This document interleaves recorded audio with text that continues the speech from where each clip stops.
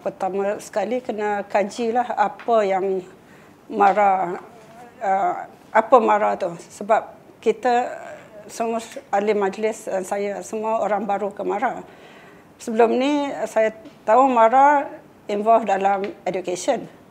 Tapi bila masuk Mara nampak banyak lagi dari education. Education pun dah memang banyak bahagian-bahagian courses, uh, sekolah, universiti.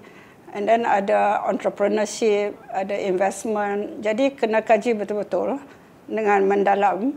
Tu ambil masa yang lama lah dalam 3-4 bulan ni. Uh, itulah kerja saya dengan ahli-ahli majlis. Uh, mengkaji uh, dulu apa yang benarnya Mara terlibat dalam uh, bidang-bidang ni. Sebelum nak buat apa-apa plan untuk transformasi, kena kaji dulu apa yang kita nak transformkan. September lalu, kerajaan melantik pakar kewangan global berkelulusan Dr. Fasafah PhD dalam bidang nuklear fizik dari Oxford University, Dr. Hasnita Hashim sebagai pengerusi MARA yang baru. Pelantikan itu dilihat sebagai anjakan baru kerana beliau satu-satunya wanita yang pernah dilantik menjawat jawatan tertinggi MARA. Selain lantikan itu atas kapasiti profesionalism bukan dalam kalangan ahli politik. Wartawan Berita Harian Rohaniza Idris dan Nora Mahpa mewawancara Dr. Hasnita berhubung hala tuju dan proses transformasi MARA. Yang penting sekali education. Sebab um, um, MARA punya mission yang original dulu, yang kita nak balik ke original mandate tu, ialah untuk meningkatkan uh, kehidupan lower income group. Dan kepada saya dan ahli-ahli majlis, um, nak meningkatkan kehidupan mereka ialah uh, melalui pendidikan.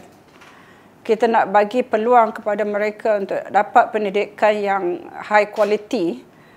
Uh, of course ada national school semua tu tapi untuk MARA kita kena fokus nak bagi high quality education kepada yang B40 dengan M40. Um, sekarang ni um, lower income group bukan saja luar bandar tapi ramai yang urban poor. Kita kena uh, bagi peluang kepada mereka juga lah. Jadi inklusif urban poor dengan rural lah. Tapi lower income group. So uh, saya ingat ini aspek yang paling penting dekat Marah.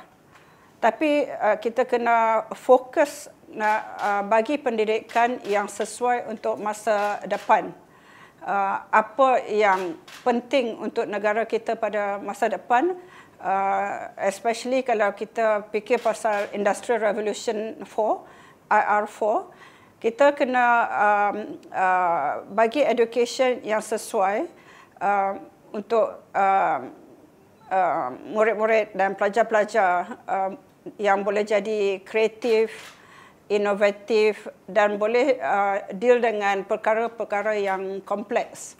Sebab itulah masa depan yang akan datang. Um, dalam 30 tahun yang akan datang, uh, development macam 300 tahun yang lepas punya cepat. Jadi kita pun tak boleh predict apa yang nak jadi. Yang kita boleh equipkan uh, uh, uh, anak anak-anak kita ialah untuk uh, Uh, jadi independen, dia boleh uh, fikir dengan fleksibel dan uh, dia boleh jadi uh, orang yang inovatif. Jadi kita kena kaji uh, uh, subjek-subjek dekat sekolah, dekat college, dekat universiti uh, untuk uh, menyesuaikan masa depan. Uh, tak boleh uh, fikir macam dulu-dulu yang um, traditional punya way of um, um, education the how macam content dia, delivery dia, macam mana kita ajar dia uh, dengan uh, of course subjek-subjek yang relevan. Uh, tapi kita nak jadikan orang yang holistik. Uh, bukan saja uh, jadi yang akademik tapi yang pandai uh, sports ataupun music atau arts ini kita boleh bagi tumpuan juga dengan bagi kredit sebab mungkin masa depan um, orang yang pandai main golf uh, boleh dapat lagi uh, salary yang lagi tinggi daripada orang yang dapat uh, paper qualification because uh, main golf ataupun main tenis tak boleh diganti dengan robot. Tapi some subjects boleh ganti dengan robot. So kita mesti fikir luar dari biasa. Uh, inilah uh, kerja yang saya dengan ahli-ahli majlis uh, buat sekarang nak kaji apa yang sesuai untuk uh, anak-anak mara. Jadi education memang kita punya fokus. Uh, the other uh, focus ialah dengan entrepreneurship.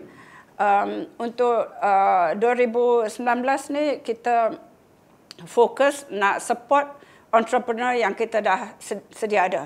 Sebab ekonomi sekarang memang uh, challenging. Uh, so the first thing kita kena support entrepreneur yang dah dapat uh, loan dari Mara dah, dalam bisnes. Because kita tak nak bagi dia loan lepas tu kita biar dia. Kita tak support dia. Kalau dia ada uh, chance for success, so kita kena support dia. That's the first thing that we want to do.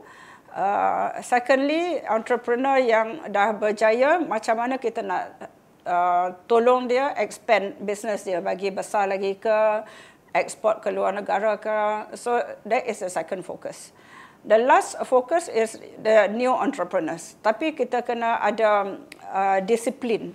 Uh, macam mana kita nak select entrepreneurs, entrepreneurs ni dia punya commitment, dia punya uh, focus, uh, what sectors and and so on. So these two things, uh, these two areas is our focus for now.